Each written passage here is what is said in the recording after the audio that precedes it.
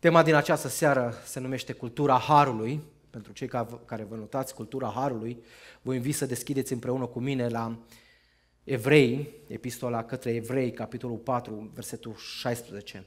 Cuvântul Domnului spune Să ne apropiem dar cu deplină încredere de scaunul Harului, ca să căpătăm îndurare și să găsim har, pentru ca să fim ajutați la vreme de nevoie.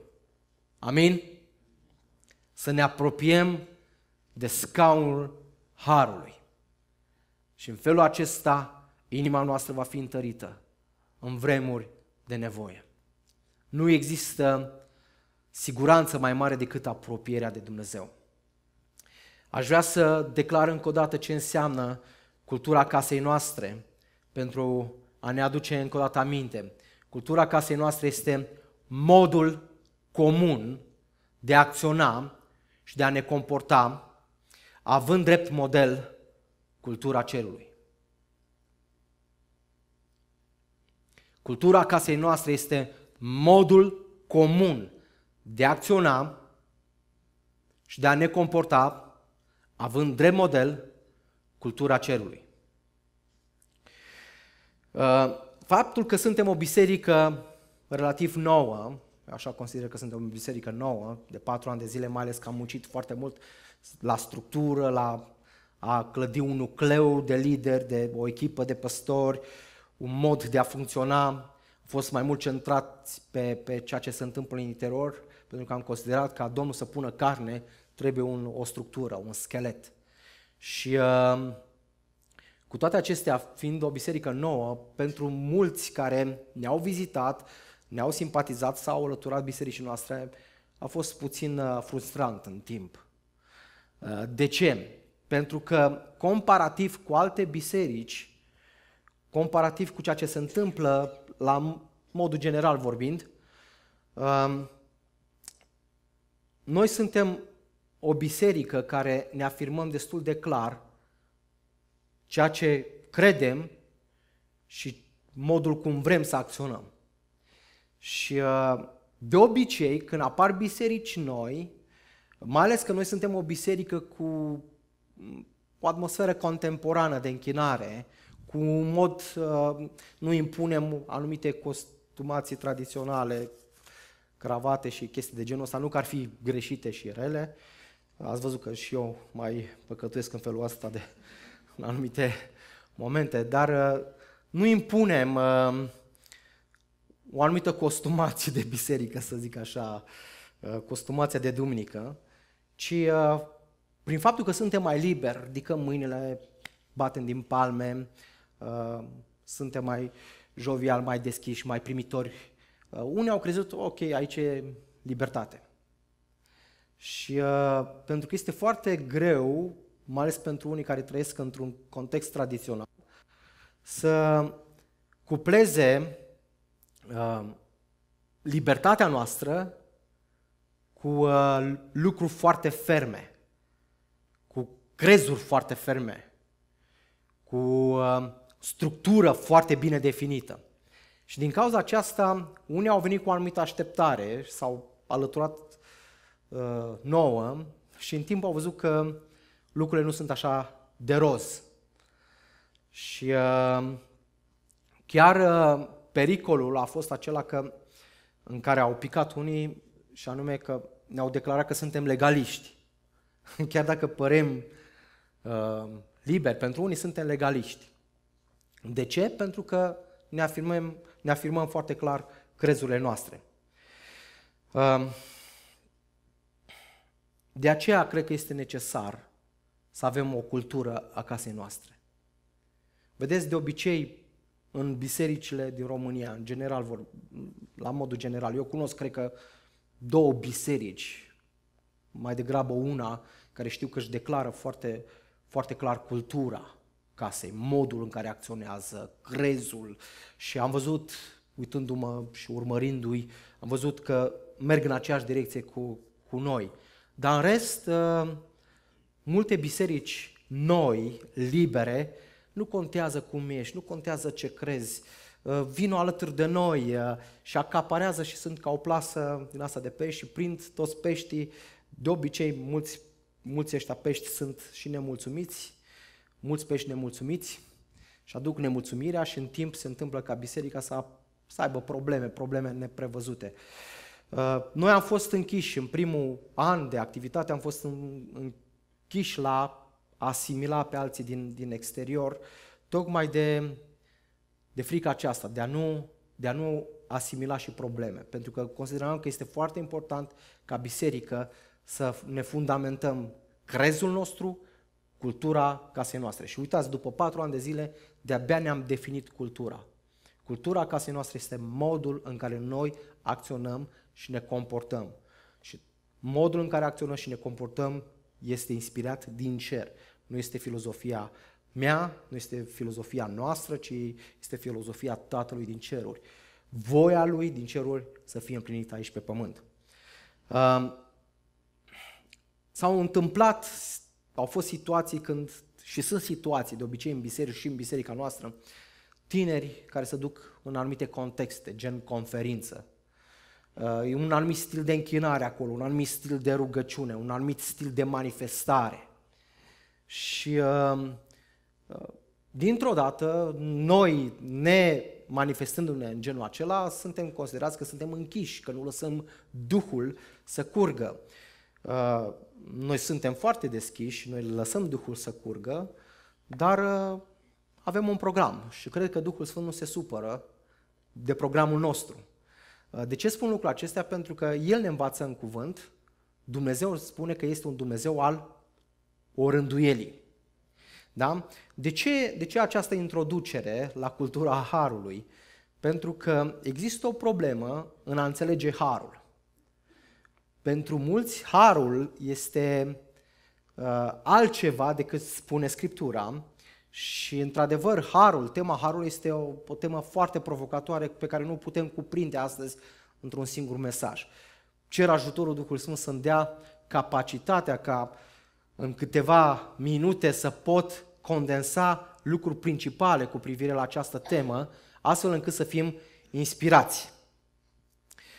Um, tot ceea ce se întâmplă în Biserica punctul zero, uh, și mă refer la modul nostru de manifestare, este susținut de valori și principii. Noi nu ne manifestăm pentru că așa simțim, sau că așa ne-a spus Duhul Sfânt. Eu cred că Duhul Sfânt, când iei cuvântul lui Dumnezeu și îl studiezi, ai să vezi că Duhul Sfânt este inspirat de valori și principii. De aceea, modul în care noi ne manifestăm este bazat pe valori și principii și nu este rezultatul participării la o conferință sau vizionării unui filmuleț pe net și zice, wow, așa face și noi în biserică. De ce? Nu știu, dar e super ce am văzut. Ok? Uh, mod, modul nostru de sus, de slujire este de asemenea susținut de valori și principii. Adică slujim într-un anumit fel bazat pe valori și principii. Nu, nu vrem să slujim oricum.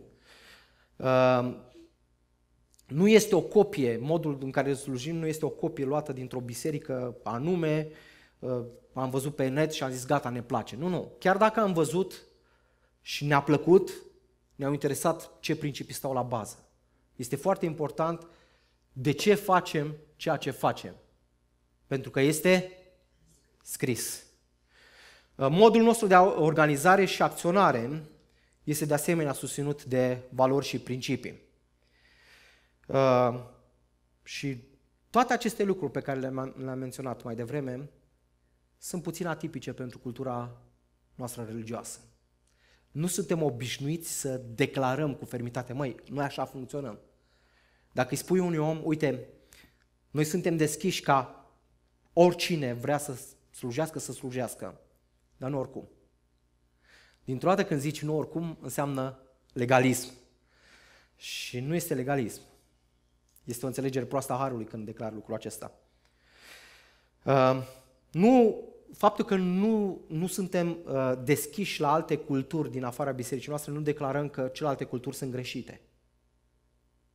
Nu declarăm că într-un, într-o anumită biserică genul acela de închinare este greșit. Nu declarăm asta în primul rând. Unele sunt greșite, într-adevăr. Dar, în primul rând, nu ne reprezintă. De aceea nu asimilăm acea cultură. Nu fac parte, deci modul de manifestare, de organizare, acele lucruri nu fac parte din setul nostru de valori și de principii. Și pentru unii această imagine, această fermitate transmisă înseamnă legalism. Nu.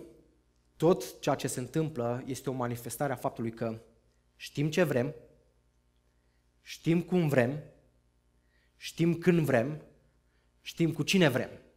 Asta este foarte important. Vedeți, faptul că știi ce vrei, cum vrei, când vrei și cu cine vrei, pentru unii înseamnă legalism. Nu, nu, nu înseamnă legalism. Toate aceste lucruri sunt pentru că știm că avem o viziune bine conturată și pentru că avem o cultură bine formulată. O viziune bine conturată și o cultură bine formulată. Așa să ne ajute Dumnezeu. Ok, primul punct. Ce nu este harul? Ce nu este harul? În primul rând aș vrea să stabilesc ce nu este harul ca să putem înțelege ce este harul. Harul nu înseamnă toleranță. A avea har sau a manifesta har nu înseamnă toleranță. Nu înseamnă a închide ochii. Asta mă, că merge și așa. Dacă ai să studiezi viața Domnului Isus cu mare atenție și fără prejudecăți religioase, Domnul Isus nu este acea imagine, acel chip de bărbat feminin. Eu aș avea probleme dacă chiar așa ar fi. Dar știu că nu este așa. Adică un bărbat cu chip feminin, cu mișcări feminine, să dărâme, să dărâme mesele din templu și, și să facă cu un bici zgomot pe acolo, mai ales că era vorba de bani și pentru evrei contau banii, nu că nu ar conta și astăzi. Uh, mai ales că Domnul Iisus uh, era dulgher de meserie și pe vremea aceea nu a, dulgherii chiar munceau, da? nu aveau mașini electrice și uh, m-am uitat așa puțin la frații dintre noi și nu numai, care muncesc în construcții și își folosesc mâna. Doamne ferește să joci fotbal cu ei și uh, Doamne ferește să îți dea așa o palmă după ceafă. Uh, cred că Domnul Iisus era ceva de genul. Frumos nu era, deci spuneai că nu, nu avea nimic să te atragă, dar cred că era voinic. Cred că era voinic. Și uh, cred că s-a îmbrăcat și bine. De, de România au dat cu zarul pe, pentru haina lor. Ok, paranteză închisă. Deci, cred, dacă studiezi cu atenție Evangheliile, vei vedea că Isus a fost foarte ferm. Chiar a fost câteodată crunt, așa, în afirmații. Cineva îl invită la masă și așa direct, de față cu toții, spune că n-a făcut ce trebuia. Limbajul lui era foarte ascuțit, mult mai ascuțit decât credem noi. Pavel, să spun, poate mă asemănă în limbajul ăla urât cu Pavel. Pavel avea un limbaj foarte urât. Scritorii, traducătorii Scripturii n-au putut traduce ceea ce spune el de multe ori. Chestiunea să și-o taie de tot, e în Biblie. Și Doamne ferește să ți se întâmple ca bărbat. Pavel avea libertatea să facă niște declarații și niște afirmații public, că au rămas până acum de 2000 de ani. Și ne pictăm un creștinism din ăsta fals, care nu de multe ori nu are de-a face cu, cu Scriptura. Și dacă citești afirmațiile lui Pavel sau modul cum se comportă Pavel, Domnul Isus o să consider că nu a avut har. Bietul Petru face o afirmație extraordinară, spune că Isus Hristos este Fiul lui Dumnezeu și în secunda următoare, minutele următoare, Domnul Isus îi spune că Satan vorbește prin el. Și înapoi a mea Satan. Mă, eu i recunosc, eu i-aș fi lăsat momentul de glorie al lui, lui Petru și poate îl luam deoparte și ziceam, băi Petru, taci din gură, uite, ai făcut o lată. Domnul Iisus, nu numai că i-a spus-o în față, ne-a și lăsat o scrisă, știm toți când vom ajunge în ceruri, câte a făcut Petru. Și asta, eu cred că pentru smerenia lui Petru a lucrat foarte mult. Nu știu cum se simte el acum în ceruri, că știm că nu mai este durere în cer și nu mai există suferință, dar anumite lucruri uh, cred că le vom simți pe pielea noastră. Eu cred că, ce credeți, mai avem nevoie de smerenie în cer? Eu zic că da. că din mândrie a căzut uh, Lucifer. Ok, din cer. Bine, nu o să cadă nimeni din cer dacă a ajuns în cer. Faptul că am ajuns acolo este o siguranță a salvării și o siguranță că vei, ai înțeles ce înseamnă smerenia. Da? De aceea Domnul a lăsat să se vorbească despre anumite lucruri. Doamne, ajută-mă ca acolo în cer să nu vorbești despre căderile mele. Despre ale voastre poate vorbi, dar despre ale mele să, să nu vorbească. Pentru mine asta înseamnă har. Da, înseamnă har ca Dumnezeu să șteargă tot trecutul tău și toate prostile tale cu buretele și să nu mai ai trecut. Asta este har.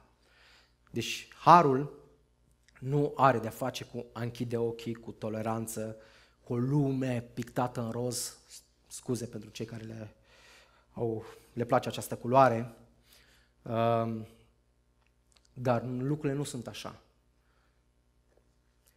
Iuda tratează în capitolul 1, versetul 4, abordează această toleranță, să zic, această închidere a ochilor, această schimbare a harului în desfrânare în felul următor. Iuda 1 cu 4, că s-au strecurat printre voi unii oameni scriși de mult pentru o sândă aceasta. Oameni evlavioși care schimbă în desfrânare harul lui Dumnezeu nostru și tăgăduiesc pe singurul nostru stăpân și Domn Isus Hristos. Lipsa înțelegerii harului, oameni buni, îl conduce pe credincios sau conduce o biserică în două lumi, în niciun caz lumea lui Dumnezeu. Conduce în lumea condusă de principiile lumii, într-o lume în care harul este schimbat în desfrânare, în care putem accepta să avem o pauză de țigară la biserică, sunt biserici de genul acesta, putem accepta căsătorii între același sex, deja se întâmplă în lume, putem accepta uh, faptul că homo- homosexualitatea este un dar uh, din partea lui Dumnezeu, așa cum scriu unii teologi, și ajungem până acolo încât e toleranță. Nu este vorba despre har.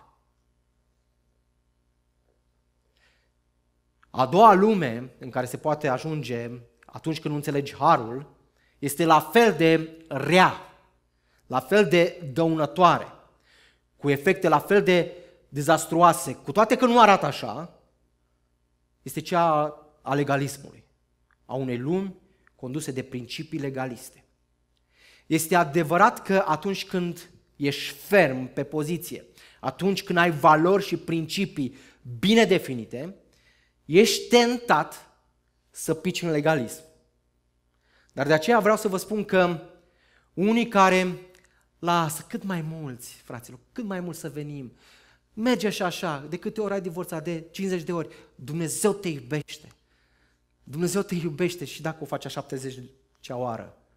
Ok? Uh, noi trebuie să avem o înțelegere foarte clară și sensibilă a Harului ca să nu cădem în cele două extreme la fel de găunoase și uh, cu impact dezastruos în viața oamenilor.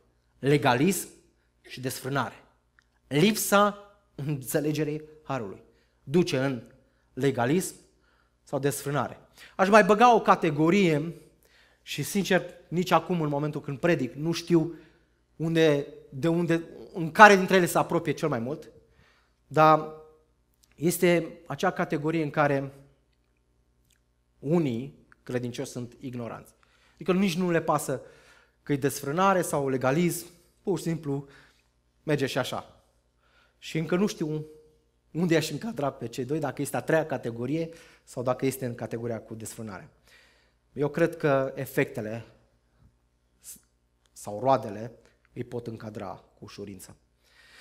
Um, ce trebuie înțeles cu privire, prima dată cu privire la har, este faptul că harul lui Dumnezeu are de-a face cu valori și principii bine definite. Harul lui Dumnezeu are de-a face cu valori și principii bine definite.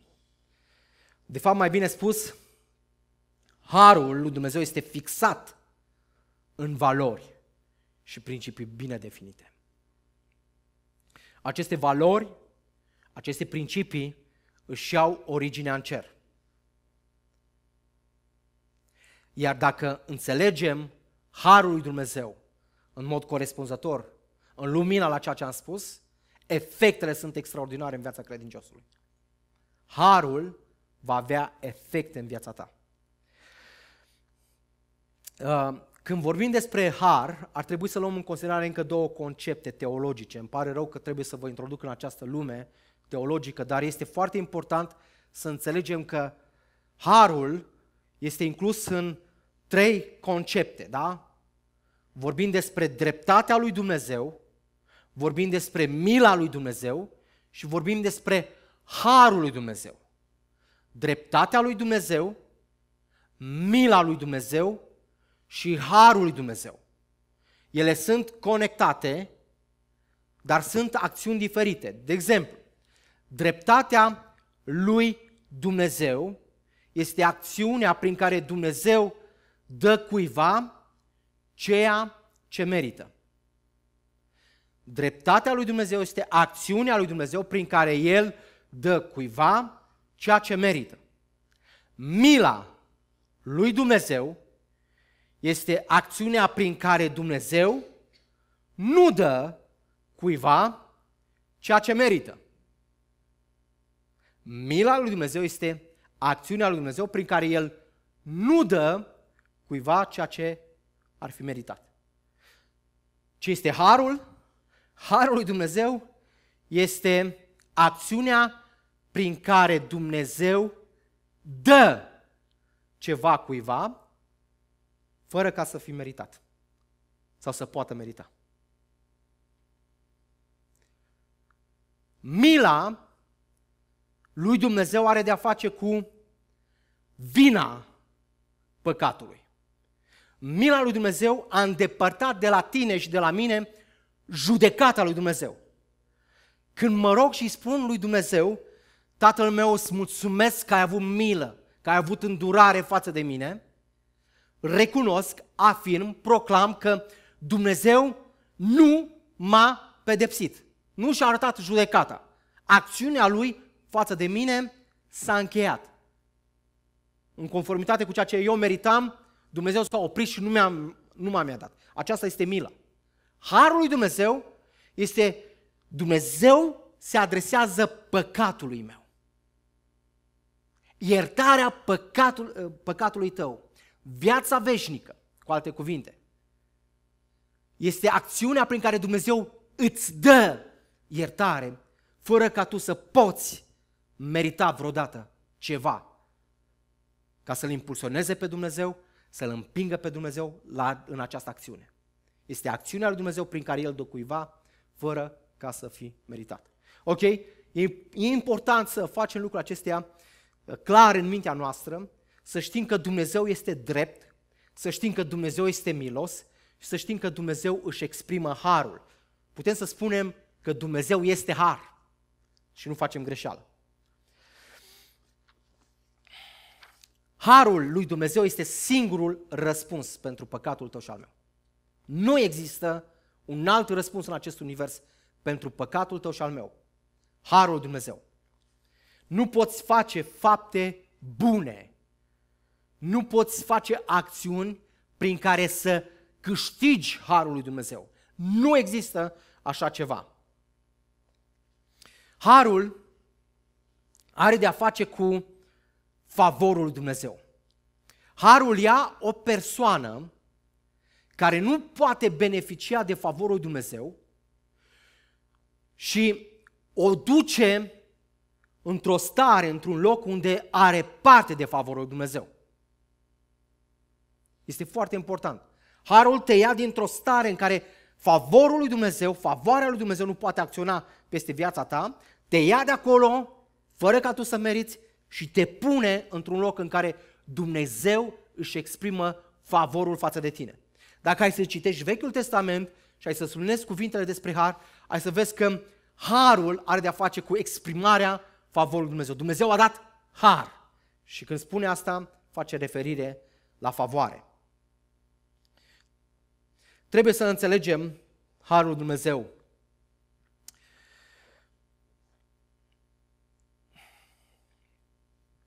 Într-un fel, când vorbim despre har, de multe ori credem că Dumnezeu acționează contrar caracterului său, că Dumnezeu este drept și El face ceva nedrept. Face o acțiune prin care își încalcă anumite principii, pentru că Dumnezeu este drept și sfânt, El trebuie să acționeze cumva altfel ca să te salveze. Și datorită acestui lucru noi nu am mai ajuns în iad, pentru că noi meritam iadul. Dar lucrurile stau pe de o parte așa, pe de altă parte nu, stă, nu stau. Pentru că noi trebuie să înțelegem în această seară, Dumnezeu este plin de îndurare.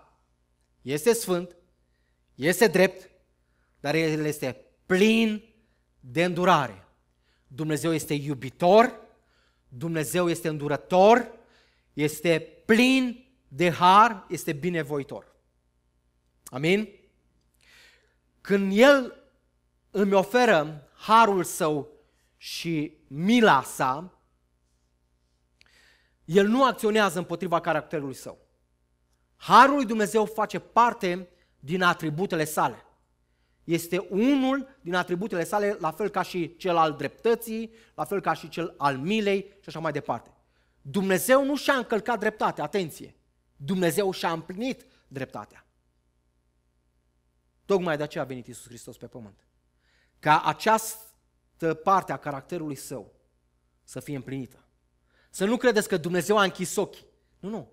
Dumnezeu a trebuit să acționeze ca un justițiar, să acționeze în conformitate cu dreptatea sa. Și dreptatea sa, care trebuia să vină peste viața ta, a venit peste Isus Hristos. De aceea, tu ai primit milă, pentru că ceea ce trebuia să vină peste tine nu a mai venit. S-a dus peste Isus. În acest mod, dreptatea lui a fost împlinită. Dar faptul că el ți-a dat viață veșnică când tu nu meritai, faptul că te-a primit în cer, ești aici, mai trăiești încă pe pământ, respiri acest oxigen, dar identitatea ta și cetățenia ta este în cer. Și acest lucru este o manifestare a Harului Dumnezeu. De fapt, El n-a, nu și-a încălcat pe atributele sale, luându-te în cer, ci este exprimarea faptului că El este harul. Cuvântul lui Dumnezeu a venit și a locuit între noi, s-a făcut trup și era plin de har. Era plin de har. Iisus Hristos era manifestarea harului lui Dumnezeu și este manifestarea harului lui Dumnezeu. Lucrul acestea trebuie să le întipărim bine în viața noastră, că harul nu este o meduză. Harul nu, nu te aștepți așa ca să pici o ploașcă din asta roz peste viața ta și zici, wow, Dumnezeu mi-a dat har. Harul este Isus Hristos. Harul este o persoană. Harul s-a arătat în deplina sa putere în Isus Hristos pentru că zice că era plin de har. Căci legea a fost dată prin Moise, spune Ioan, apostolul, în uh, capitolul 1 cu versetul 17. Legea a fost dată prin Moise, dar harul și adevărul au venit prin Isus Hristos. Venirea lui a, a fost asemnalat venirea harului în această lume.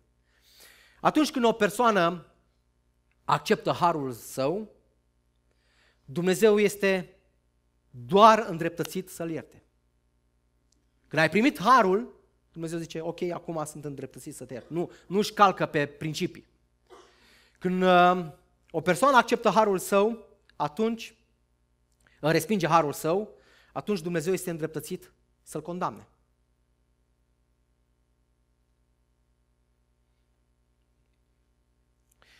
Deci, dacă înțelegem harul, sau mai bine spus, dacă cunoaștem harul, adică pe Dumnezeu, viața noastră va arăta altfel.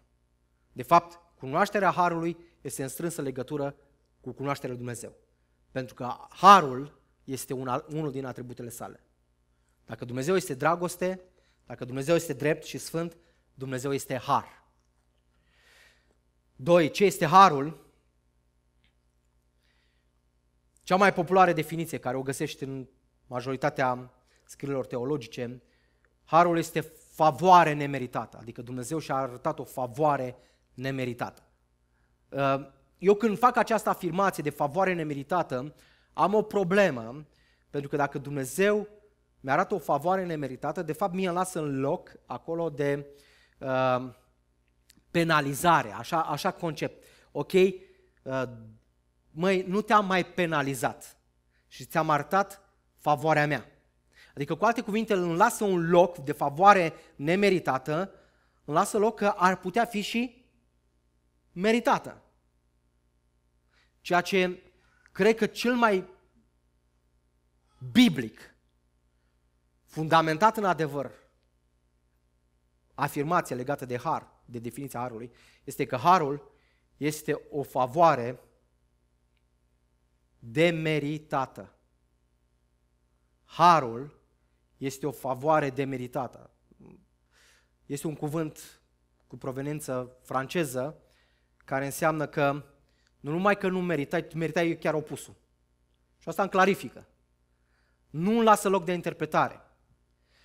Cu alte cuvinte, îmi spune că uh, ceea ce am primit este mai mult decât aș fi putut merita, ba din potrivă, meritam altceva. Asta spune de meritat. Asta înseamnă de meritat. Trecând de chestiile astea lingvistice, trebuie să-ți notezi că lucrul ăsta îl poți găsi și în text. Harul este o favoare demeritată. Adică o acțiune prin care Dumnezeu îți arată o favoare când tu meritai total altceva.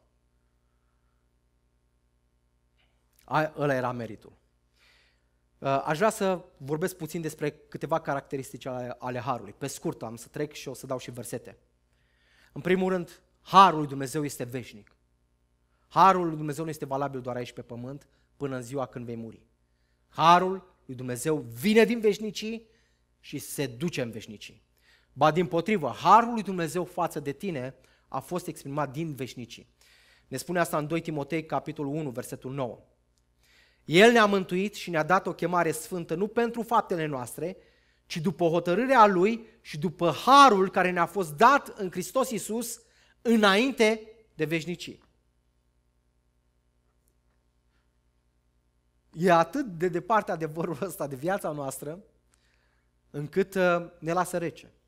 Dacă ai sta și ai medita luni de zile numai la această scriptură, cred că reacția când este, este citită uh, uh, această scriptură ar trebui să fie alta, să fie de exaltare. Să știi că în Isus Hristos, din veșnicii, Dumnezeu și-a exprimat harul față de tine. Adică, cu alte cuvinte, ceea ce trebuie să înțelegi în seara aceasta, că nu ești un individ, o individă pierdută într-un univers unde nimeni nu știe de tine și dacă nu strigi la Dumnezeu, Dumnezeu nici măcar nu știe de existența ta.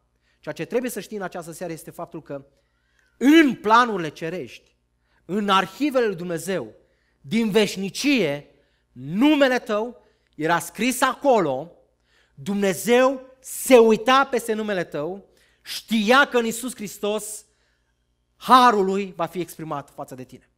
Și asta pe mine mă eliberează.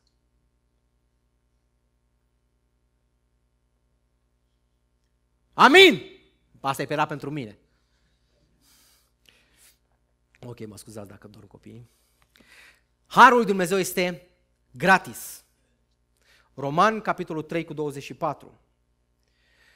Și sunt socotiți neprihăniți fără plată prin harul său, prin răscumpărarea care este în Hristos Iisus. Suntem socotiți neprihăniți fără plată, este gratis. Nu este ieftin, harul Dumnezeu nu este ieftin, pentru că a fost foarte scump, sângele lui Iisus Hristos, care este foarte scump, viața lui Iisus Hristos, care este foarte scumpă, unicul Fiul al Dumnezeu a trebuit să moară pe, pe cruce. Așa a fost exprimat harul pentru tine. Ăsta este harul. Dar este gratis. E ca și cum Dumnezeu ți-ar lua mașina cea mai tare din, a, din această lume și ți-ar da o gratis. Nu poți să zici că e ieftină. Ceva foarte scump, dar este gratis. Așa este harul. Nu există nicio faptă care să poată uh, răscumpăra sau să-L motiveze pe Dumnezeu pentru har. O altă caracteristică este opus faptelor. Harul este opus faptelor. Efeseni, capitolul 2, versetul 8 și 9, căci prin har ați fost mântuiți, prin credință, și aceasta nu vine de la voi, ci este darul lui Dumnezeu, nu prin fapte, ca să nu se laude nimeni. Știi când poți să prinzi pe cineva, nu că ar trebui să fii polițist spiritual, dar uh, când prinzi pe cineva că nu, nu înțelege harul, uite-te cum vorbește despre salvare. L-am căutat pe Domnul, m-am rugat Domnului, am stat înaintea Domnului și m-am întâlnit cu Domnul etefleșc. Dintr-o dată îmi dau seama că am de-a face cu o persoană mândră, o persoană care nu cunoaște Harul Dumnezeu, o persoană care muncește pentru salvarea sufletului său. Ăla am fost eu. Ăla am fost eu bazat pe o scriptură din Eremia, în care spunea, mă veți căuta din toată inima dacă mă, și mă veți găsi dacă mă veți căuta din toată inima. Și mă bazam pe scriptura asta, ziceam, l-am găsit pe Domnul, că l-am căutat din toată inima. Vedeți? Mulți când am început să spun, va simți cu musca pe căciulă, nu vă aștepta să spun că e despre mine. Dar analizează-te. Cum te raportezi la ziua întoarcerii tale? Ai fost copleșit de Harul Dumnezeu. Da, eu am fost copleșit de Harul Dumnezeu, dar nu am rămas în Harul Dumnezeu. De aceea Scriptura ne îndeamnă de multe ori să rămânem în Harul Dumnezeu. Nu știu dacă ai observat cu câtă insistență scrie Pavel. Nu există epistolă scrisă de Pavel care să nu să înceapă cu două cuvinte. Har și pace. Har și pace.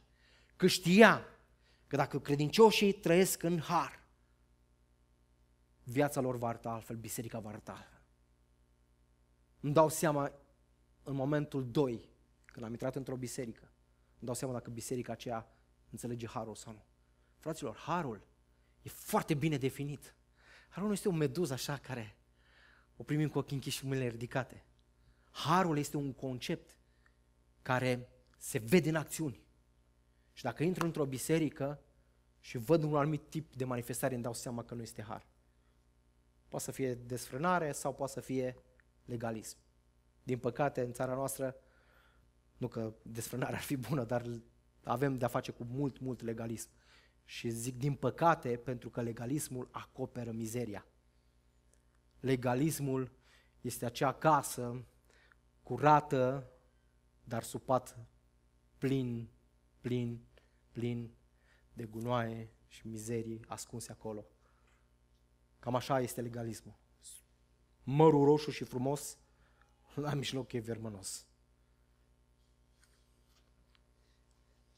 Apropo de cei vegetariani, că mănâncă carne fără să știe. Ok. Este opusul faptelor, salvarea nu este prin, prin fapte, ca să nu se laude nimeni. Fraților, niciunul dintre noi nu avem motiv de laudă. Nu avem motiv să ne bazăm pe acțiunile noastre că am fost salvați. Este harul lui Dumnezeu. Mai mult decât atât putem spune că eu pot să spun că dacă, faptul că stau în fața voastră și vă predic, nu vorbesc de salvarea sufletului meu, vorbesc de faptul că stau în fața voastră și vă predic. Faptul că sunt păstor, faptul că sunt astăzi aici, este harul lui Dumnezeu. Dacă Dumnezeu mi-ar fi dat ce meritam în viața de credință, mulți mâncau coliva de mult. Și cred că între noi ne-o mâncam de mult. Este așa. Suntem salvați doar prin Harul Lui. Este opusul faptelor Harul Dumnezeu. Nu are de-a face cu acțiunile noastre. Mai citesc o scriptură, Romani 11 cu 6. Și dacă este prin har, atunci nu mai este prin fapte. Al minterea, harul n-ar mai fi har. Când harul are la bază fapte, nu mai este har. Și dacă este prin fapte, nu mai este prin har. Al minterea fapte n-ar mai fi faptă. Foarte logic, Pavel. O altă caracteristică și ultima, harul este dăruit mai presus de ceea ce noi meritam. Este și această caracteristică.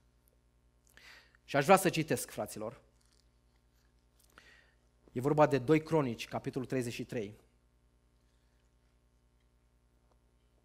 E aproape tot capitolul, de la 1 la 20. Aș vrea să-l citesc. E vorba despre împăratul lui Iuda. Cuvântul Domnului spune, Manase avea 12 ani când a ajuns împărat și a domnit 55 de ani la Ierusalim. Țineți minte, spune 55. 55. Ca să vezi ce a făcut în 55 de ani de domnie. El a făcut ce este rău înaintea Domnului, după urciunile neamurilor pe care le izgonise Domnul dinaintea copiilor lui Israel. A zidit iarăși înălțimile pe care le dărâmase tatăl său, Ezechia. A ridicat altare balilor, a făcut idoli asartei și s-a închinat înaintea întregii oștiri a cerului și i-a slujit. A zidit altare în casa Domnului, măcar că Domnul zisese în, în Ierusalim va fi numele meu pe vecie.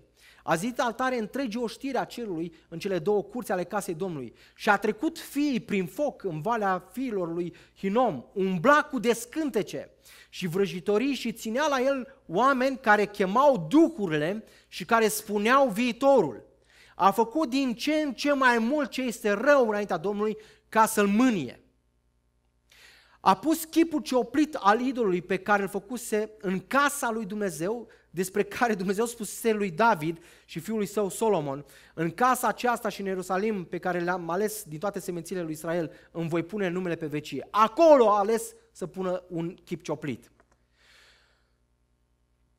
Dar Manase, în versetul 9, dar Manase a fost uh, pricina că Iuda și locuitorii Ierusalimului s-au rătăcit și au făcut rău mult, mai mult decât neamurile pe care le nimicise Domnul dinaintea copilului Israel. Aș vrea să citesc încă o dată. A făcut mai mult rău decât neamurile, decât păgânii.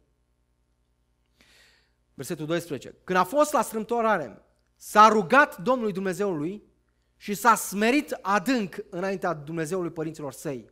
I-a făcut rugăciuni și Domnul, lăsându-se înduplecat, i-a ascultat cerele și l-a dus înapoi la Ierusalim și împărăția lui. Și Manase a cunoscut că Domnul este Dumnezeu.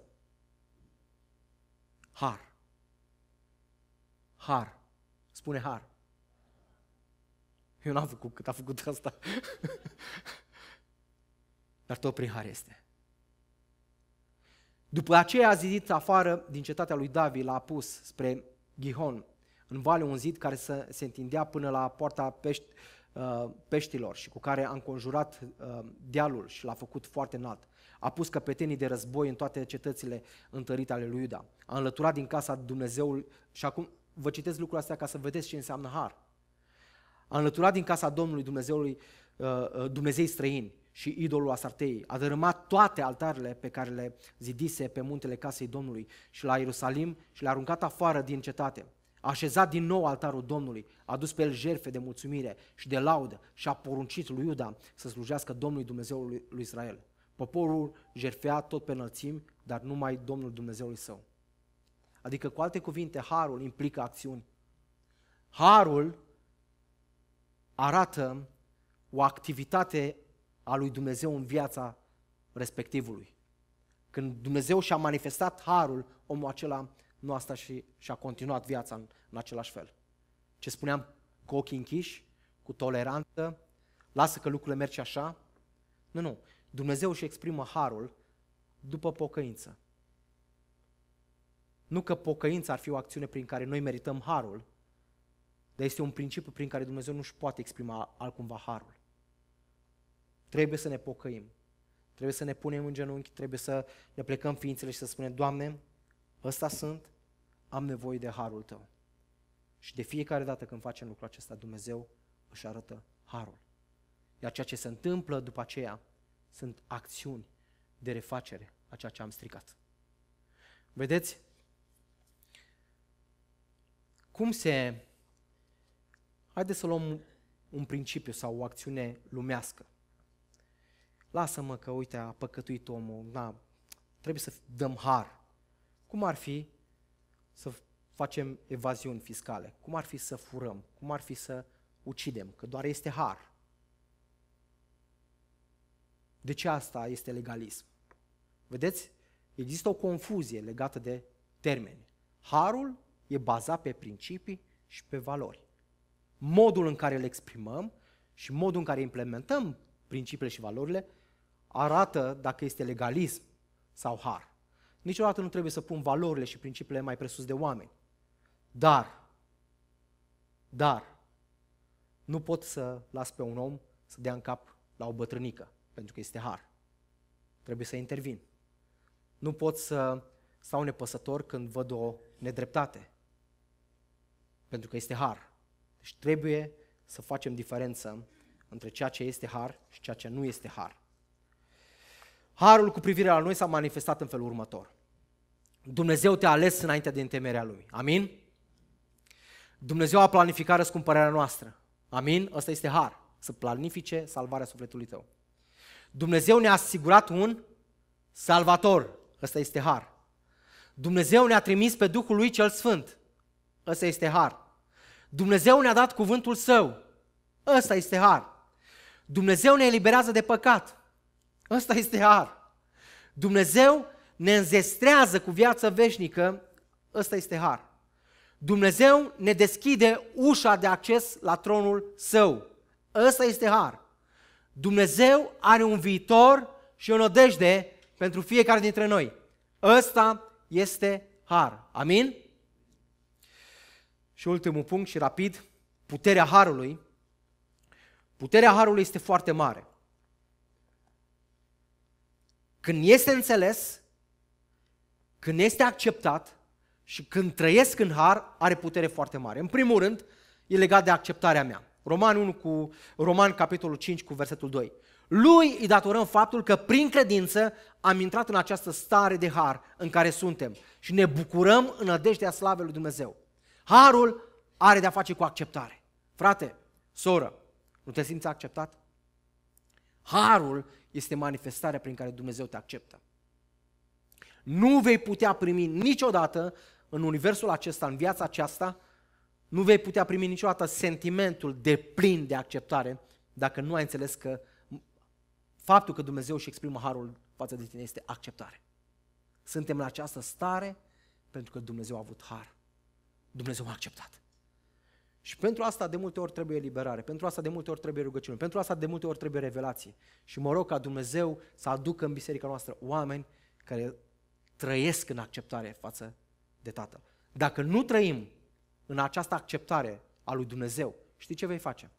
Vei munci pentru acceptare. Oprește-te să muncești ca să fii acceptat de Dumnezeu. Oprește-te să muncești să fii acceptat de Dumnezeu. Dumnezeu te acceptă.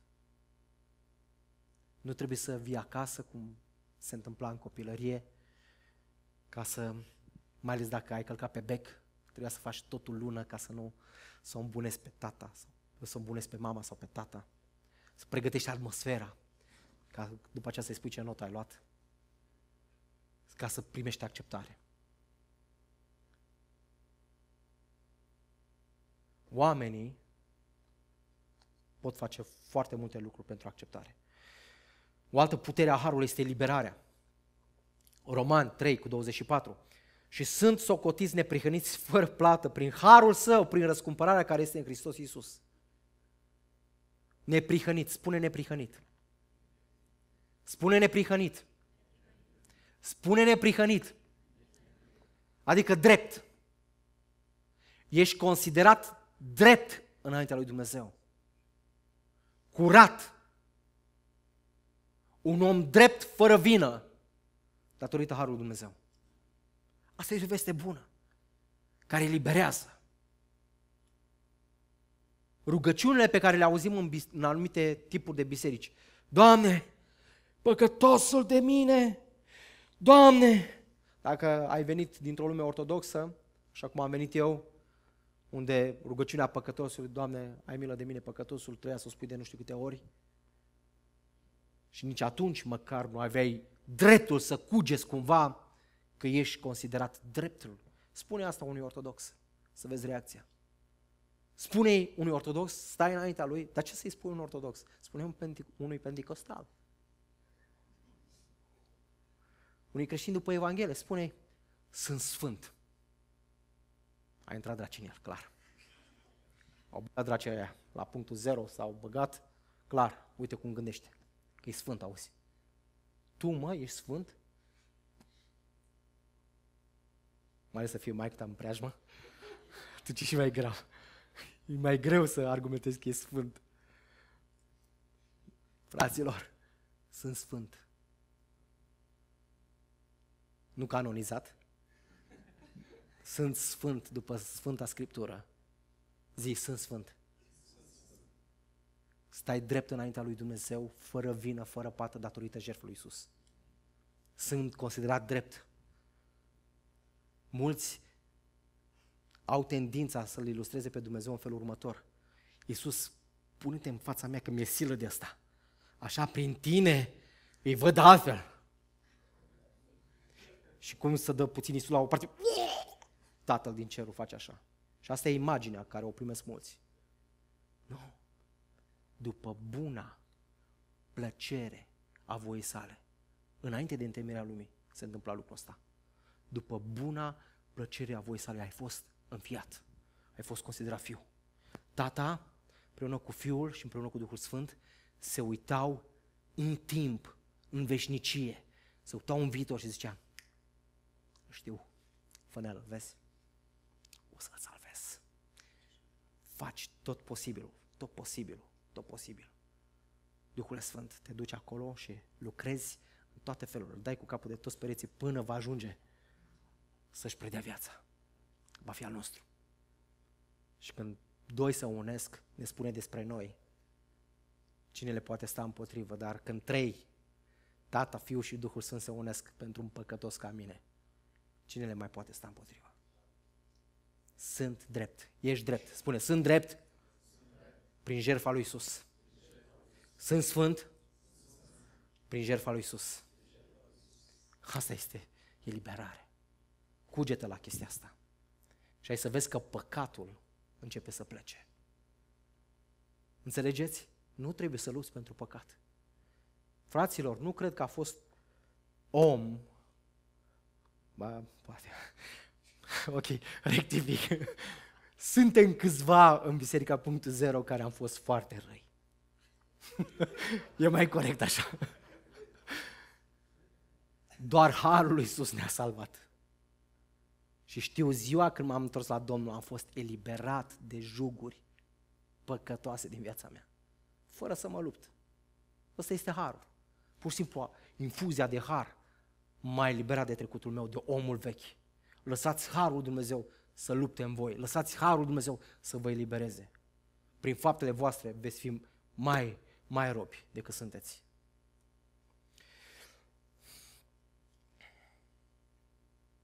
Autoritatea spirituală, o altă putere a Harului, Roman 5 cu 17, dacă deci prin greșeala unui singur, moartea a domnit prin el singur, cu mult mai mult cei ce primesc în toată plinătatea harul și darul neprihănirii, despre ce vorbeam acum, vor domni în viață prin acel unul singur, care este Isus Hristos. Cei care primesc toată, spune toată, plinătatea. E foarte important. Toată plinătatea. Cu cât primești toată plinătatea, cu cât primești harul în toată diversitatea lui, va acționa în tine și vei domni în viață. Nu viața va domni peste tine, nu circumstanțele vor domni peste tine, nu păcatele vor domni peste tine, nu legăturile și vicile vor domni peste tine, ci tu vei domni în viață. Nu există sentiment mai plăcut în viața de credință să mergi biruind, știind că de lucrurile alea ai fost biruit. Să zici, sunt liber. Sunt salvat. de lucrurile astea. Astea m-au înrobit. Astea m-au înrobit. Am avut un moment, um, înainte să mă întorc la Domnul, eram fumător. După ce m-am întors la Domnul, n-am mai fumat nicio țigară, știu ziua când am pus ultima țigară în gură, pentru că a fost însoțită cu vomă și asta ne țin minte. Um, ultimul moment când am pus țigara în gură și ani de zile am zis, sunt liber. Sunt liber. Până am ajuns la un soi de mândrie. Eram în armată și toți din jurul meu stăteau și fumau. Erau, pentru cei care ați făcut armata știți, erau momentele de țigară. Și majoritatea pufoiau. Și uh, unul dintre colegii de acolo zice, mă, dar tu ai fumat vreodată? Și am zis, da, cum? Și cum? Nu te tentează așa, nu te... Că eu am încercat să mă las și cei care au fost fumători știu că cam greu să te lași așa, te lăsai un timp, dar iar te întorceai de mâncai din țigara aia. Exista acolo o luptă și uh, foarte sigur pe mine. Țin minte momentul, foarte sigur am zis, nu am nicio treabă. Nu am nicio treabă. Dar nu raportat la Dumnezeu, n-am zis, mai prin harul Dumnezeu, am zis, n-am nicio treabă. A doua zi, în pauza de țigară, au prins oamenii. Nu mi s-a întâmplat niciodată până atunci, ca pocăit și nici de atunci până acum, a fost ceva extraordinar. S-a pornit în mine o poftă necontrolată, ceva care nu puteam stăpâni, ceva care niciodată n-am avut să zici că m-am luptat cu astfel de lucruri. Deci am avut senzația că îmi venea să-i smult toate țigările din jurul meu, să le bag în gură, să le, să le, să le amestec. Eram ca un drogat, n-am fost drogat niciodată, dar bănuiesc că ceva de genul ăla, nu, nu mai te poți abține. Știți ce am făcut? M-am dus în locul cel mai intim care putea, și era wc hasnaua. Și m-am închis acolo și am zis, Doamne Iisuse, te rog, ai milă de mine.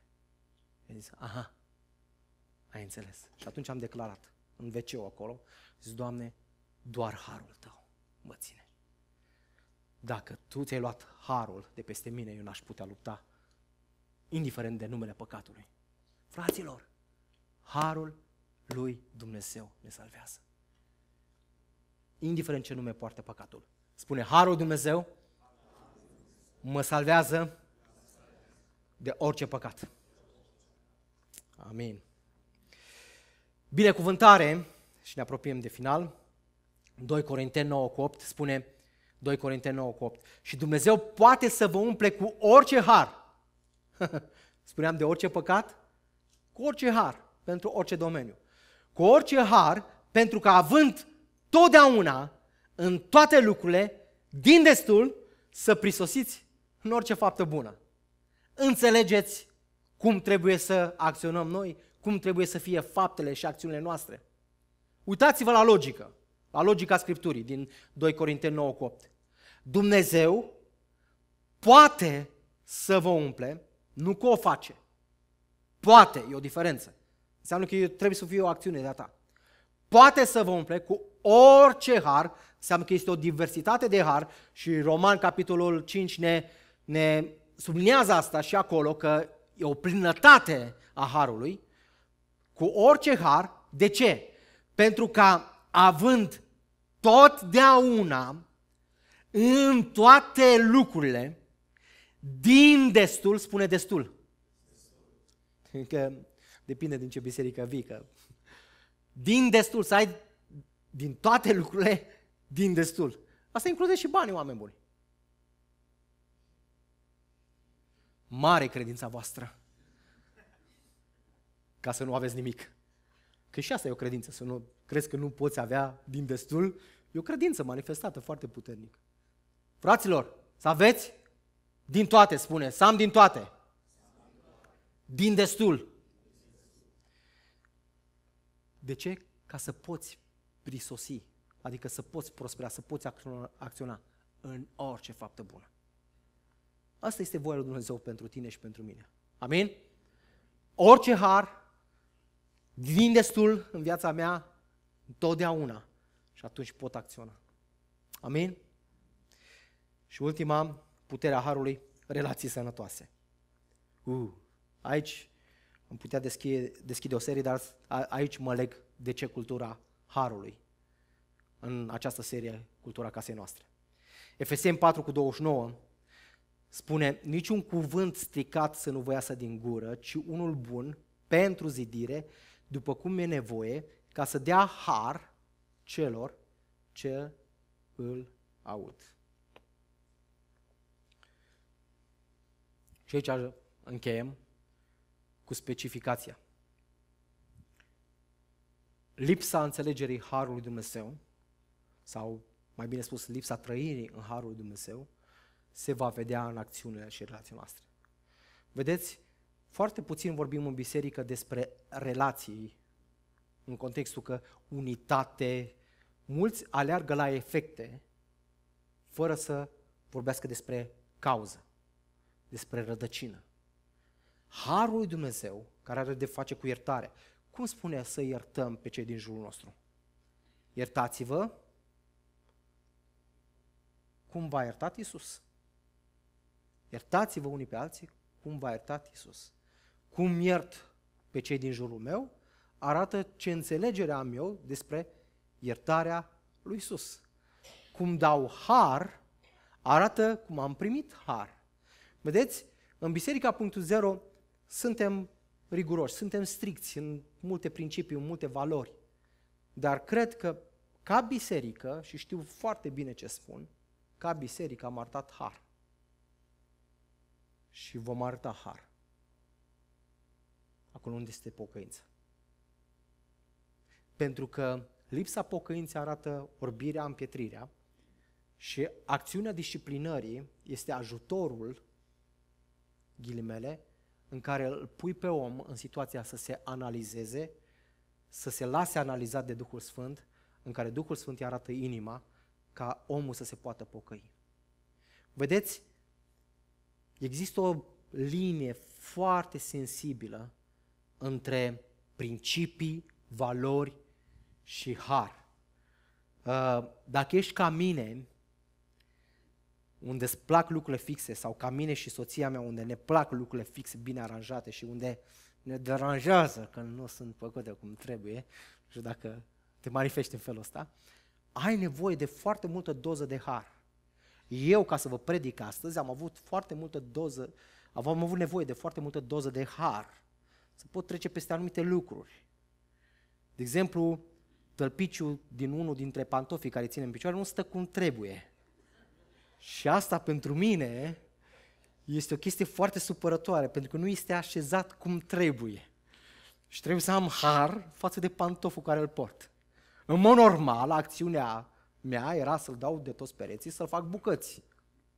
Dar trebuie să fiu plin de har. Întotdeauna. Din destul.